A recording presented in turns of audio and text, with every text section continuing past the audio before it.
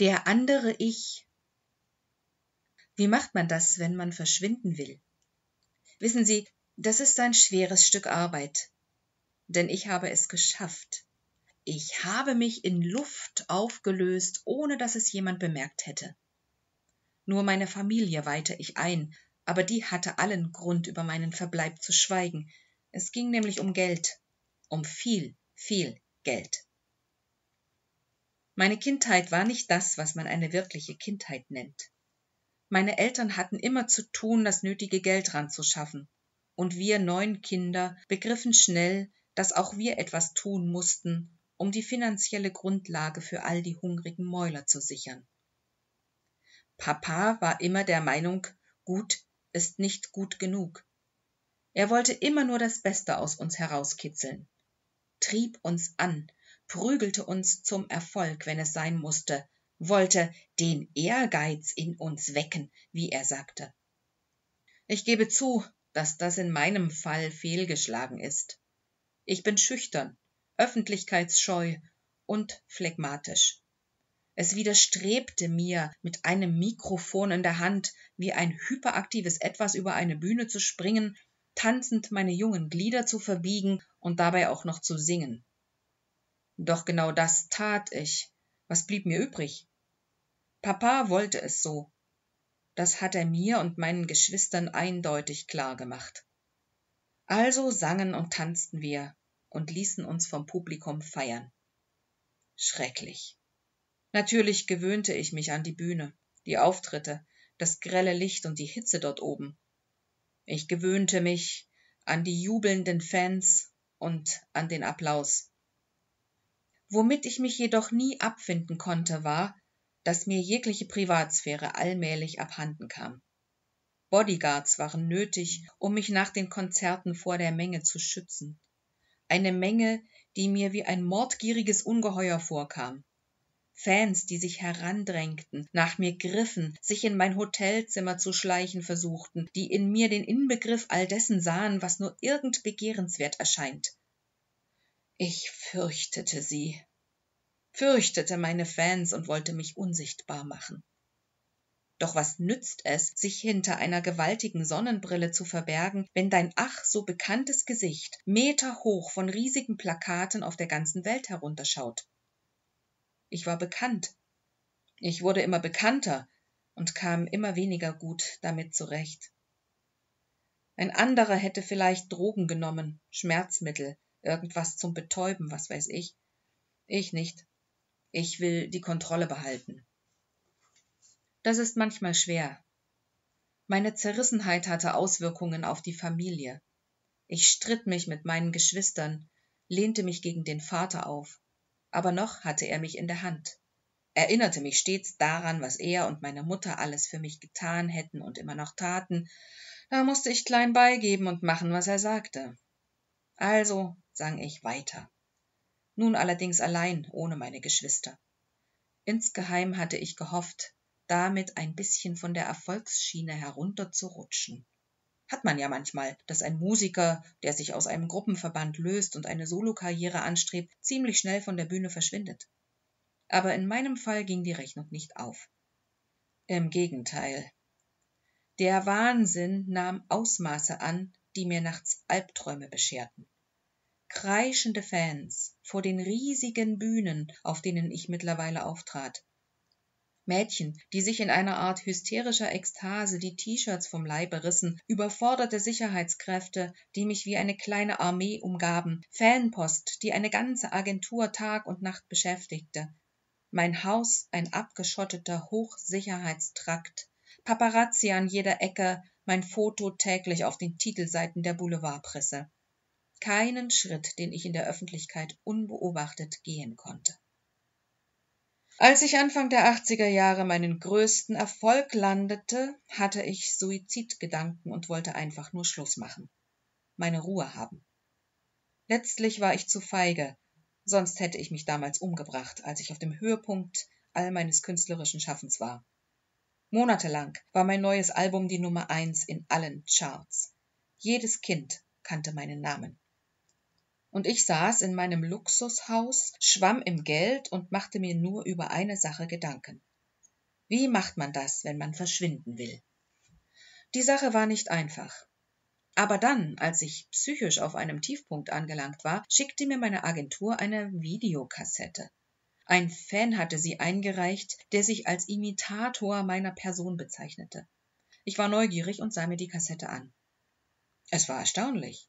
Zwar war die Aufnahme schlecht beleuchtet und absolut unprofessionell, aber der junge Mann, der dort a cappella eins meiner Lieder sang und dazu tanzte, der war wie ich. Er sang wie ich, er bewegte sich wie ich, er tanzte wie ich.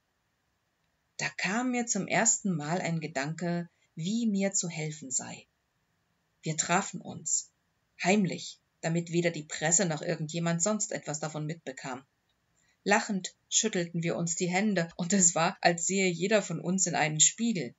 Das gleiche Kraushaar, die breite Nase, dunkle Haut, blitzende Zähne. Er war mein perfekter Doppelgänger. Und er konnte singen. Das war jedoch nicht das Einzige, was mich interessierte. Viel wichtiger schien mir, dass er einen unlöschbaren Ehrgeiz mitbrachte, den Willen zum Ruhm, die Gier nach Aufmerksamkeit, eine nicht zu bremsende Agilität. Er sagte, er wolle wichtigen Leuten die Hand schütteln, so wie ich es vor Jahren mit der Königin von England getan hatte. Als ob das was Besonderes wäre. Die Königin von England ist schließlich auch nur eine Frau. Na, egal. Mein neuer Bekannter war jedenfalls so gut dafür geeignet, mich zu dubeln, dass wir einen Deal eingingen. Er wurde ich. Er wurde ich mit Haut und Haar, ganz und gar, bekam meinen Namen, sang meine Lieder, tanzte auf der Bühne, gab Autogramme und machte sich beim Publikum so beliebt, wie ich es nie vermocht hatte. Ich wirkte im Stillen, ging kaum noch aus, versteckte mich, so gut es ging, schor mir die Haare Millimeter kurz, trug Brille, ließ mir einen Bart stehen. Aber ich schrieb meine Songs. Meine Songs, die mein anderer Ich sang. Wir waren ein gutes Team. Papa bekam das natürlich heraus und war nicht erfreut über diese Entwicklung. Ich führte ein sehr ernstes Gespräch mit ihm, redete von Selbstmordgedanken und Publikumsangst. Da wurde er ganz still und gab schließlich sein Einverständnis zu meinem Doppel. Auf diese Weise behielt er nicht nur seinen Sohn, sondern auch einen dicken Teil des Geldes. Denn die Gelder der neuen Alben teilte ich mit meinem anderen, auch die der Konzerte. Der Ich war sehr zufrieden, er genoss seinen Ruhm, sein Geld. Alte Einnahmen aus meinen früheren Alben gingen komplett an mich. Es war so viel, dass ich mein ganzes Leben nie wieder arbeiten musste. Ich legte das Geld gut an, gab Eltern und Geschwistern ab, spendete für humanitäre Zwecke, ging ansonsten sparsam damit um und fühlte mich zum ersten Mal im Leben wirklich richtig gut. Keine Öffentlichkeit, kein Stress. Wenn mir danach war, schrieb ich was oder sang bei mir zu Hause, wo mich nur meine Frau hörte. Denn jetzt hatte ich auch Zeit für die Liebe, für Privatsphäre, für eine eigene Familie.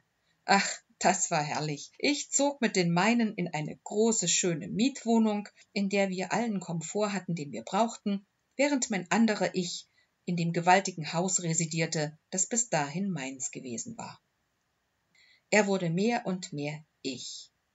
Er sang mit Begeisterung und wandte sich verstärkt der Popmusik zu, kehrte sich vom Rhythm and Blues ab, der bis dahin mein Stil gewesen war. Er tanzte wie eine Gummipuppe und erfand einen neuartigen Schritt, der zu seinem ganz persönlichen Markenzeichen gedieh und seiner späteren Autobiografie zu ihrem spektakulären Titel verhalf. Und das Beste war, dass das Publikum ihm glaubte. Das Publikum glaubte, er sei ich. Es bejubelte ihn wie mich, es beklatschte ihn wie mich, es betatschte ihn wie mich. Gott, was bin ich froh, davon weg zu sein. Ich habe es nie bereut, dass der andere mein Leben übernommen hat. Auch als er anfing, selbst zu schreiben und zu texten, war mir das recht. Als er die gesamten Einnahmen für seine aktuellen Konzerte forderte, hatte ich nichts dagegen. Als er mir eines Tages nahelegte, den Kontakt mit ihm abzubrechen, erklärte ich mich einverstanden. Das war Anfang der 90er und wir hatten acht Jahre Zusammenarbeit hinter uns. Erfolgreiche Jahre, die von Musikpreisen durchzogen waren wie von einer Glitzerspur. Mein anderer Ich hatte erst Ronald Reagan und später George Bush bei Empfängen im Weißen Haus die Hand geschüttelt, hatte bei seinen Konzerten ganze Olympiastadien gefüllt und zum Kochen gebracht. Er war ein Publikumsliebling und so erfolgreich, dass ich ihn nur bewundern konnte. Ich selbst wäre an dem ganzen Zirkus längst zerbrochen. Mein anderer Ich war mein Lebensretter und mein Glücksgarant, und dafür bin ich ihm immer dankbar. Allerdings hat der andere eine Vielzahl von Marotten entwickelt, die ich seltsam finde. Angefangen hat es mit dem Aussehen. Ich sagte ja schon, dass wir uns beinahe zum Verwechseln ähnlich sahen, als wir uns erstmals trafen. Von da an entwickelten wir uns auseinander. Ich in Richtung Normalbürger, er in Richtung Star mit Marotten. Anfang der 80er schon ließ er sich die Nase operieren. Ich bin kein Freund von sowas, nur wenn es medizinisch begründet ist. Na egal, er ist nicht ich, auch wenn er so tut. Seine Nase sah ja vorher aus wie meine, breit und schön. Plötzlich war sie ganz schmal und schnipste so in die Höhe. Eine Stupsnase hat er sich machen lassen. Dann kam das Kinn dazu. Ein breites Kinn mit Grübchen. Das war vorher nicht so. Jetzt sah mein Ich ganz anders aus, aber die Fans liebten ihn ungebrochen. Sie liebten ihn auch später noch, als er die Haare glatt und lang trug und an der Stirn die Geheimratsecken durch Implantate kaschieren ließ. Und seine Haut, die ihren dunklen Ton verlor, immer heller wurde. Ich sah ihn damals noch oft aus der Nähe und wunderte mich, wie er sich selbst ertragen konnte mit all den Narben und der dicken Schicht Puder und Make-up und den vergrößerten Augenöffnungen. Er war sehr dünn und schluckte Tabletten. Nach unserem Kontaktabbruch sah ich ihn dann nicht mehr privat, verfolgte seinen Werdegang jedoch auch weiterhin mit Interesse. Er wurde medikamentensüchtig und wirkte stark angeschlagen, verschob Konzerte oder sagte sie gar ab. Und seine Auftritte in der Öffentlichkeit wurden Mitte der 90er Jahre zunehmend skurriler. In Fernsehshows versuchte er, seine zahlreichen Schönheitsoperationen medizinisch zu begründen, seine gebleichte Haut auf ein Krankheitsbild zurückzuführen. Er tat so, als sei die ganze Welt eine Krankheitsschleuder, an der er sich den Tod holen würde. Nur auf der Bühne legte er den Mundschutz ab, den er wie ein durchgeknallter Doktor den ganzen Tag zur Schau trug. Vielleicht wollte er sich damit nur interessant machen, vielleicht ging ihm tatsächlich der Verstand verloren, ich weiß es nicht. Zu der Zeit hatte ich mit meinem anderen Ich längst nichts mehr zu tun. Er ging auf Tourneen, rasselte durch Skandale, heiratete zweimal und ließ sich zweimal scheiden, stand wegen des Vorwurfs von Kindesmissbrauch mehrfach vor Gericht, verlor all seine Millionen und wird in der Öffentlichkeit immer seltsamer, so dass selbst seine treuesten Fans an der Zurechnungsfähigkeit ihres Stars zweifeln. Auf mich macht er den Eindruck eines traurigen Zombies, der mir völlig fremd ist und mir irgendwie leid tut. Auch musikalisch ist es nicht mehr weit her. Seit fast zehn Jahren ist von ihm nichts wirklich Gutes mehr gekommen. Vielleicht ist er müde. Ich könnte mir das vorstellen und es gut verstehen. Es ist überhaupt ein Wunder, dass er den ganzen Wahnsinn so lange hat mitmachen können. Was für ein Leben. Ich möchte es nicht gelebt haben. Ich habe es nicht gelebt. Ich habe große Kinder und eine alternde, nette Frau. Fünfzig bin ich, ein angegrauter Schwarzer mit breiter Nase und einem kurzen Vollbart. Meine Brille hat inzwischen kein Fensterglas mehr, die brauche ich jetzt wirklich, seit die Augen schlechter werden. Musik mache ich auch noch, spiele in einer kleinen Band zusammen mit drei ebenfalls älteren Herren. Hin und wieder treten wir in kleinen Clubs auf, das ist ganz angenehm, obwohl ich immer noch schüchtern bin. Aber meine Lebenserfahrung hilft mir darüber hinweg. Noch immer lebe ich von dem Geld, das ich vor so vielen Jahren in den Zeiten meines Ruhms verdient habe. Manchmal denke ich daran, wie es damals war. Und glauben Sie mir, nie, wirklich nie habe ich mich nach diesen Zeiten zurückgesehnt. Gut, dass ein anderer für mich weitergelebt hat. Gut, dass ich verschwinden konnte, ohne dass mein Verschwinden bemerkt wurde. Sie lächeln jetzt so mitleidig? halten das Ganze vielleicht für eine gut erzählte Geschichte, die sich jemand aus den Fingern gesaugt hat? Dann sehen Sie sich die alten Fotos von mir nochmal an. Ein lachender, hübscher Junge war ich, ein Schwarzer. Ein Schwarzer bin ich noch immer. Mein anderer Ich war auch mal einer. Aber das sieht man heute nicht mehr. Heute ist der arme Kerl ein Kunstprodukt, ein trauriger Clown, dessen entstelltes Gesicht im Alter noch entsetzlicher wirkt. Ein gebrochener Mann, den die Wogen seines Erfolges auf ein kaltes, steiniges Ufer geworfen haben. Ich bin so froh, dass ich es in ruhiges Fahrwasser geschafft habe, einen sicheren Hafen angelaufen bin. Nicht jeder ist geeignet, ein Star zu sein. Ich konnte es nicht. Ich wollte es nicht. Und was für ein Glück, dass ich es nicht musste.